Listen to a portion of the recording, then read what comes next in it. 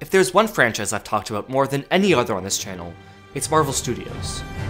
Their multi billion dollar endeavor into adapting Marvel stories to the silver screen has fundamentally changed the way we make movies. Whether it's for creative purposes or financial gain, the way Marvel is expanding has reshaped cinematic storytelling, and I'd argue is one of the key artistic movements of the last decade. Because of this mass success, as well as the conclusion to the main storyline quickly approaching, I wanted to celebrate Marvel's 10 years of making movies. And so with this video, I am launching a new series called the Marvel Studios Retrospective, where I hope to learn and share the most important lessons of Marvel's storytelling. And with this first episode, I'd like to begin by asking, what is Marvel's best scene?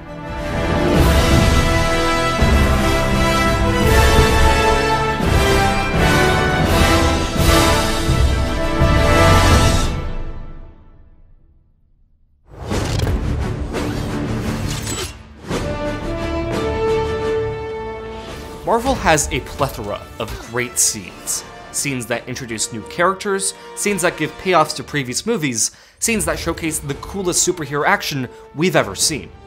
Today, I'm not particularly interested in, say, Marvel's best acted scene, it's this one, by the way, but instead on honing down the best Marvel scene, one that both works in the context of the narrative while also building off of previous storylines, one large with action and emotion, but intimate with character one that defines our characters' values while also challenging and forcing them to change.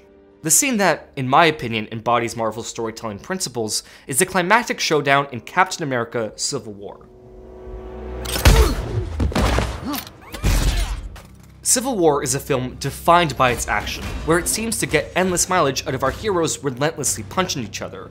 The action can be tense, it can be cathartic, and it can be incredibly crowd-pleasing, but nowhere is it more effective than in its brutal final brawl. This climactic battle isn't a fireworks show, but instead a dramatization of the traumatic rift between Tony Stark and Steve Rogers. By looking at the larger picture of Marvel, we see that it is a series built around relationships, relationships that are expressed through the actions the characters take. In layman's terms, we have to learn to work together to save the world. These inner relationships and the bonds our characters make throughout the movies is the core of the franchise. Just think back to the devastating final moments of Avengers Infinity War.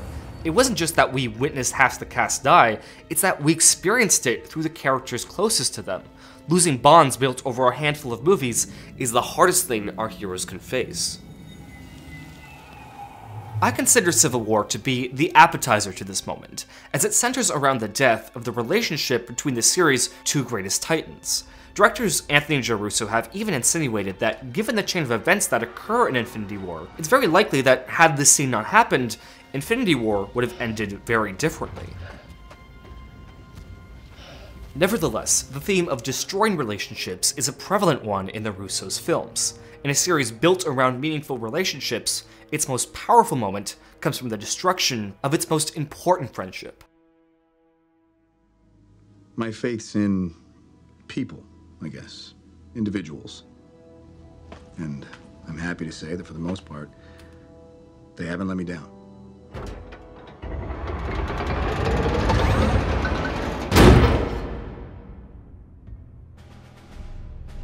A superhero is only as good as their philosophy. It's what internally drives their actions. It's what their storylines are built around. It's what gets them out of bed in the morning. I gotta know, what's your MO? What gets you out of that twin bed in the morning? If these films have themes, their heroes' philosophies are it. It comes at no surprise then that the harder the philosophy is challenged, the better the film tends to be. I have one rule. Oh, then that's the rule you'll have to break to know the truth. Captain America Winter Soldier did this by putting the friendly yet isolated Steve Rogers into a conspiracy thriller, where everyone, including his best friend, is out to kill him. Bucky? Civil War continues this idea by flipping it on its head. This time, Bucky is the one at the center of the conflict, where his tormented past comes back to haunt him after he's framed in a terrorist attack. Due to the suspicious nature of his character, pretty much every person with firepower wants this guy dead. The crux of the narrative then lies on Steve Rogers, as the film primarily focuses on his efforts to help and protect Bucky. If Steve's superpower is friendship, then everyone going after his best friend is the ultimate test. However, where his loyalty to his friend worked in Winter Soldier, the opposite is true in Civil War. More than anything, his religious loyalty to his friend exposes the flaw in his character necessary to uphold this ideal. This is mainly illustrated through Steve putting the Avengers at risk, and also failing to consider the consequences of his actions. Consequences? You bet there'll be consequences. Obviously, you can quote me on that because I just said. Anything else? Every action scene seemingly alienates another member of his team, as it appears that with Bucky in the equation, Steve really isn't looking out for them. He's willing to fight his former allies just to continue Bucky's wild goose chase. Yes, it's for a good cause, but again, these actions have consequences. And after these large battles, all our heroes are left with is more pain. Especially Tony. Stark is the one primarily interested in preserving the Avengers, and so he's the one who suffers the most. In the film's final cruel stroke, it's revealed that Steve kept the truth from Tony on how Bucky was responsible for killing his parents. Shouldn't you know? Yes. This final twist of the knife is not an isolated incident, but the culmination of Steve's moral compromises surrounding Bucky. I don't know if I'm worth all this, Steve. This isn't about who's right or who's wrong, but about Steve completely neglecting Tony's well being. The collapse of the Avengers, as well as Steve and Tony's friendship, stems from the destruction of Captain America's philosophy. He's my friend. So was I.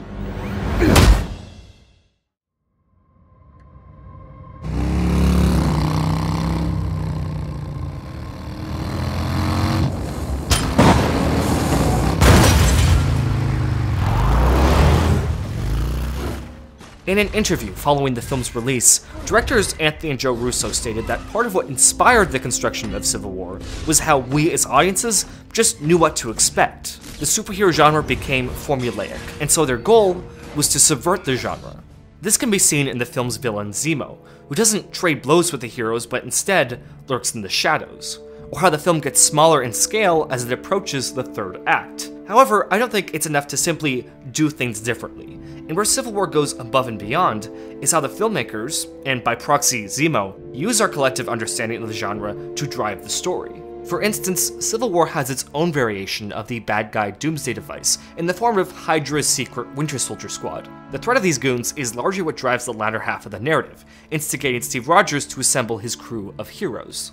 The film uses several techniques to essentially hype up their presence. For instance, the film opens with a flashback of the Winter Soldier on a mission, punctuated by elongated close-ups of this Hydra Red Book as well as these blue serum bags. The Red Book becomes an essential component to the plot, being the tool used to brainwash Bucky. The subsequent action scene of Bucky escaping is not only used to progress the storyline, but also illustrates just how effective a Winter Soldier is when under command, with him defeating all the Avengers in hand-to-hand combat.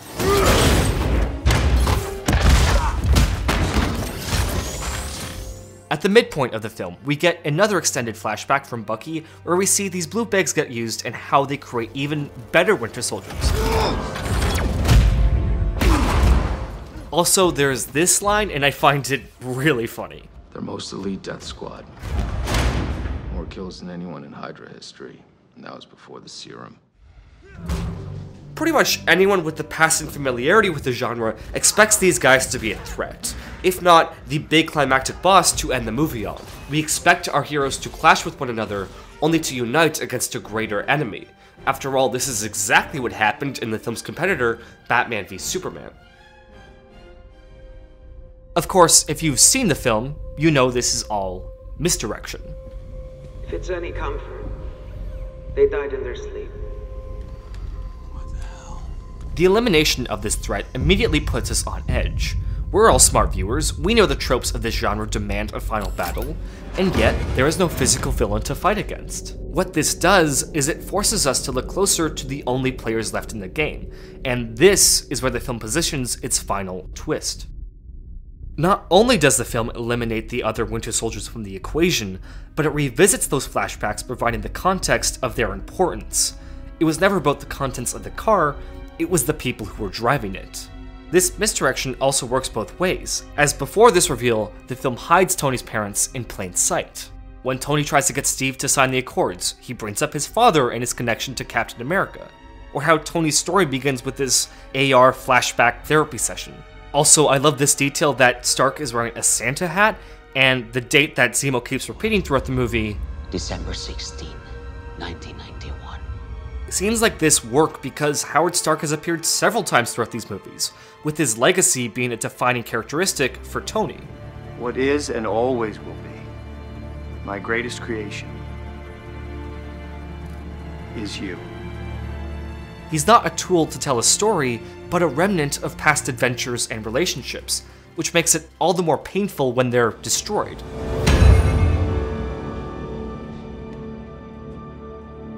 Much like how Zemo manipulates the characters in Civil War, the directors and writers too are controlling the way the audience watches the movie. In order for these moments to land with the utmost impact, they are careful in presenting the things we expect from the genre and hiding the things we don't. I don't care. He killed my mom.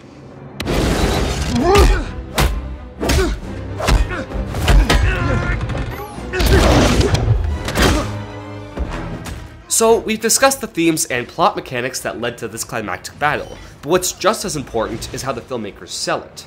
How can this fight leave an impact on the audience? Well, one way the Russos do this is by designing the battle in a way that contrasts with typical superhero action scenes. Marvel's signature bathos? Nowhere to be found. There are no intricate objectives to achieve, but merely a very primal goal of survival. The fight doesn't end when the conflict is resolved, but instead when both parties have been beaten and exhausted of all of their efforts. There isn't much to talk about in terms of clever choreography, because the fight is blunt by design. We get less of those fluid CGI camera movements we saw back in the airport fight, and instead we get these tighter and quicker shots that capture the intensity of the scene. Greater emphasis is put on the blows our heroes are laying out on each other, as well as their heavy metal war cries. Despite the blunt nature of the fight scene, there is still an elegance to its design. The visual geography is clear and understandable, with the characters climbing towards safety before being dragged down into the abyss. In the latter portion of the fight, the characters are silhouetted through these columns in some really gorgeous wide shots that really make them appear like titans. Or how the film's intense style of editing is countered by this long unbroken shot of action conveying unity. It's clear that a lot of thought and effort went into the presentation of this fight, and part of what sells this fight is that the filmmakers let it speak for itself. Forget jokes, there's barely any dialogue in this fight, period, and the few words our characters manage to blurt out are absolute killers. Do you even remember them? I remember all of them. The filmmakers were smart enough to let the actors' expressions sell the emotion. Like when Zemo first plays a tape, these three reactions tell you everything. Robert Downey Jr. in particular does an outstanding job at letting his eyes drive the character. So much is conveyed in how he hesitates to look Steve Rogers in the face before giving him an unflinching stare, or how he takes a beat to collect himself before he. Actions speak louder than words.